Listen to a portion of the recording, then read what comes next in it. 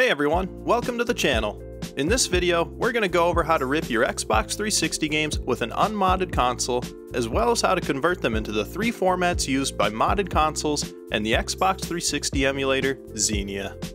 This method will work for the vast majority of games, but it is worth noting that some games must be dumped with a modded console or a special disk drive, it's also worth noting that if you have an RGH or JTAG system, you may find it easier to just copy over the files from the disk using the browser on your console.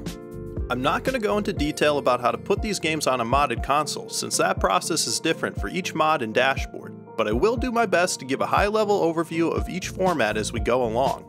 To get started, you'll need to have an unmodded Xbox or a modded Xbox running the default dashboard. You'll also need a USB drive formatted to FAT32, a PC, and of course the game disk you want to rip. You'll also want to download GOD to ISO and the Xbox ISO extraction tool if you want to convert your games to ISOs or XEXs. If you want to convert your ISOs back to GODs, you'll also want a program called ISO to GOD.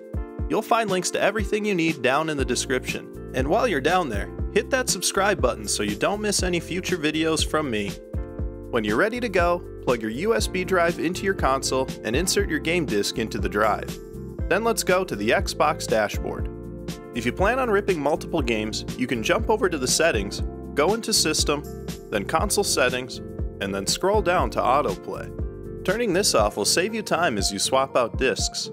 You can also format your USB drive if you haven't already. Just head back to System Settings and then go into Storage. From here, select your USB drive, hit Y, and select Format.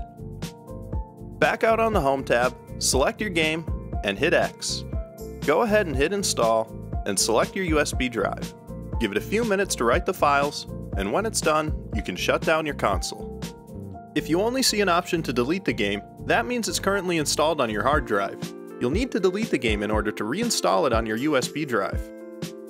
Some games come on multiple DVDs with DLC or other data that needs to be installed. To get these files, you'll need to install the disks to your hard drive just like you normally would. Once it's done, go back to the dashboard and head to Settings, System, and then Storage. Go into your hard drive, and then the Games and Apps folder. Find your game in here and select it. Then locate the downloaded data and move the files over to your USB drive. Now that you've ripped your game, head over to your computer and plug in your USB drive. When you open it up, you should see this content folder. If you don't, go up to the View tab and make sure that Hidden Items is selected.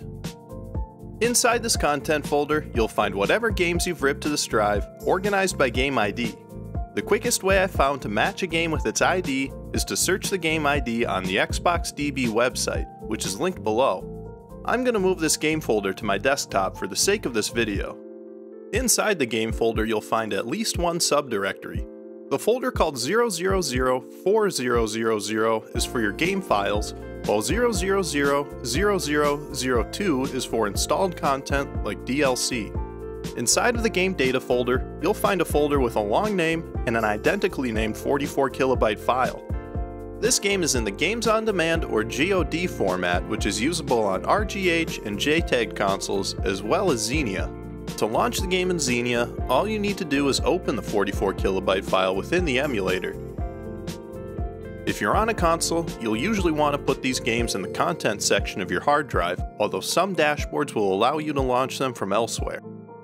Now let's convert this GOD file over to an ISO. ISOs are usable with Xenia, as well as consoles modded with an X key. You can also burn them to a disk and use them on consoles with a flash drive. Converting games to ISOs is also necessary if you want your games in the XEX format. Note that if your game has a second install disk or DLC disk, you only need to make an ISO from the game disk. Just make sure you use a program like Velocity or XM360 to put the content in the correct location in your Xbox's hard drive or your Xenia directory. Go ahead and open up GOD to ISO and click the Add button once it's up. Find your games folder and open up that 44 kilobyte file inside of it. Now just hit browse and tell the program where you want your ISO to go. I'm going to put mine in a folder on my desktop. Once everything is set, hit the go button and give it a minute to do its thing. If you have an ISO that you want to convert into a GOD, you can use ISO to GOD. Just hit Add ISO and then browse for your ISO file. Once you've found it, just tell the program where to put the GOD files. This program has a neat feature that will remove some of the excess data that's used as padding to fill the game disk. If you want to save a rebuilt, smaller version of your ISO along with the GOD files, just tell the program where to put it. If you just want your GOD files, turn the padding removal mode to none. When you're all set, hit Add ISO to add it to the queue, then just hit Convert to start the process. The final format we'll cover is XEX, which allows for full access to the game's data files. Like a rebuilt ISO, this format also removes any excess padding from the game's data, so it's a great way to save space on a crowded drive. However, just like the GOD format, these games will only work with an RGH or JTAG console or Xenia. To start the process, open up the Xbox ISO extraction tool. Hit Choose ISO folder, then select the folder where your ISO is and hit OK. Any ISOs inside of that folder will populate in this upper field. Now hit Choose Destination and tell the program where you want your game files to go a folder will automatically be created for the XEX files. It will have the same name as your ISO folder, so be sure to make a new folder if you plan on putting them in the same directory. If you forget to do this, the application will skip right over that ISO. When you're all set, make sure your ISO is selected and hit go. Once again, give it a few minutes and you can close out when it's done. Looking at your new game folder, you can see the data files as well as a file called default.xex. This is the file you'll want to load from your console or Xenia to start up the game. So I think that covers just about everything. As far as I know, there's no way to go directly from a GOD to XEX or from XEX to any other format. So just keep this in mind as you clean up your game files. If you have any questions about the process, drop a comment below or reach out on my Discord channel. As always, hit that like button if you enjoyed this video, and hit the subscribe button to see more tutorials and emulation videos from me. Thanks for watching, and I'll see you in the next one.